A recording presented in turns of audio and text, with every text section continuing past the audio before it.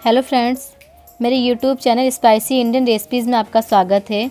दोस्तों, आज हम आपको बिल्कुल बिंगो स्टाइल क्रिस्पी मसालेदार चिप्स बनाना सिखाएँगे। तो दोस्तों, मेरी वीडियो लास्ट तक ज़रूर देखें और मेरी वीडियो को लाइक एंड शेयर ज़रूर करें। तो अब हम स्टार्ट करते हैं। मैंने एक बड़ा प्याज लिया है, जिसे मैंने बड़े बड़े टुकड़ों में काट लिया है। चार से पाँच लहसुन लिए हैं और आधी चम्मच जीरा लिया है। तो अब हम इन सभी चीज़ों को पीस लेते हैं। तो अब हम एक बर्तन में डेढ़ गिलास पानी डालेंगे। और पानी को अच्छे से गर्म हो जाने देंगे। पानी गर्म हो चुका है। तो अब हम इसमें प्याज, लहसुन और जीरे का पेस्ट डालेंगे। पानी में अच्छी तरीके से मिला लेंगे। अब हम चम्मच के हिसाब से आधी चम्मच हल्दी पाउडर डालेंगे, आधी चम्मच नमक डालेंगे और इन सभी चीज़ों को अच्छे से मिला लेंगे। अब हम इसे थोड़ी देर चलाते हुए पका लेंगे।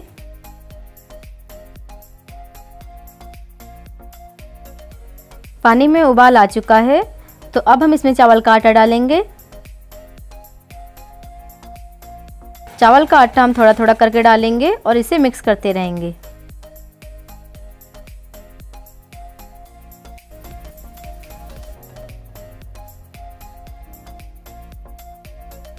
इसी तरह हम इसे अच्छे से मिला लेंगे। अगर ये आपका ज़्यादा सूखा है तो आप इसमें थोड़ा सा पानी और डाल दीजिए। अगर आपका ये ज़्यादा गीला हो गया है तो आप इसमें थोड़ा चावल का आटा और डाल सकते हैं। तो अब हम इसमें थोड़ा तेल डालेंगे और इसकी सभी साइडों से छुटाकर एक जगह इकट्ठा कर लेंगे।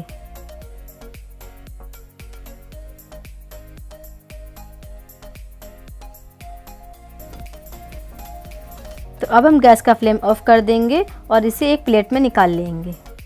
हमने इसे एक प्लेट में निकाल लिया है तो अब हम इसे फैला देते हैं ताकि ये ठंडा हो जाए और हम हाथों से इसे अच्छी तरीके से छू सकें। तो ये देखिए दोस्तों, ये हल्का ठंडा हो चुका है। तो अब हम हाथों में थोड़ा तेल लगाकर इसको अच्छे से मस लेंगे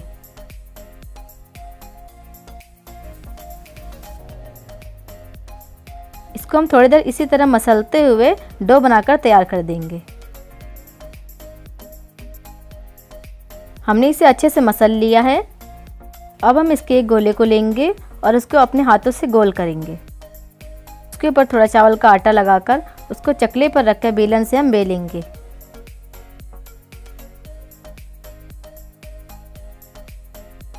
दोस्तों, चावल का आटा किनारे से बहुत फटता है, इसलिए हम इसके ऊपर चावल के आटे का धुरन लगाएँगे और इसे फिर से बेलेंगे।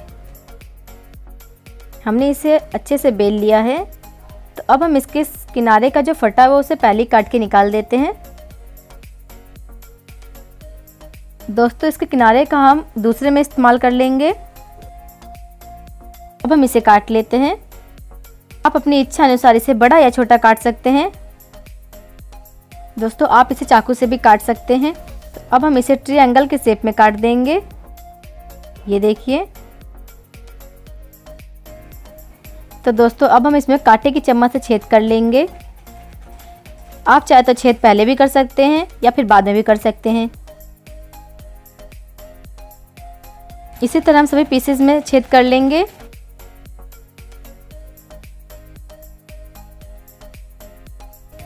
ये देखिए दोस्तों, ना ही मैंने ज़्यादा इसे मोटा बेला था और ना ही इसे मैंने ज़्यादा पतला बेला था। ये देखिए दोस्तों, मैंने सभी पीसेस को अच्छी तरीके से कट लगा लिए हैं। तो अब हम इन सभी को फ्राई कर लेते हैं। हमने एक बर्तन में तेल गरम कर लिया है। तेल हमने ज़्यादा गरम नहीं करा है। हमने हल्का ही गरम रखा है। तो अब हम इन चिप्सिस को इसमें डालेंगे।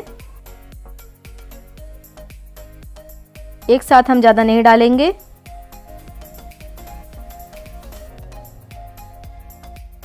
तो अब हम इन्हें पलटा लेते हैं। ये देखिए दोस्तों, इसमें हल्का गोल्डन कलर आने लगा है। इसी तरह पलटाते हुए हम इन्हें अच्छे से फ्राई कर लेंगे। तो ये अच्छे से फ्राई हो चुके हैं और इसमें अच्छा कलर भी आ गया है। तो अब हम इन्हें निकाल लेते हैं।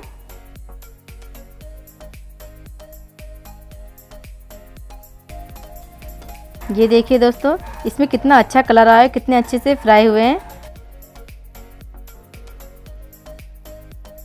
तो अब हम बाकियों को भी फ्राई कर लेते हैं।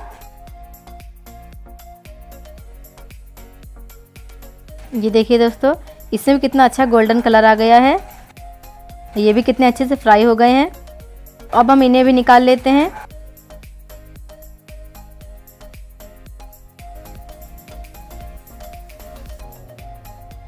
तो ये देखिए दोस्तों, मैंने इन सभी चिप्सिस को अच्छे से फ्राई कर लिया है। तो अब हम इन्हें थोड़ा मसालेदार बना देते हैं। तो अब हम एक मिक्सिंग बाउल में एक पैकेट मैगी मसाला डालेंगे।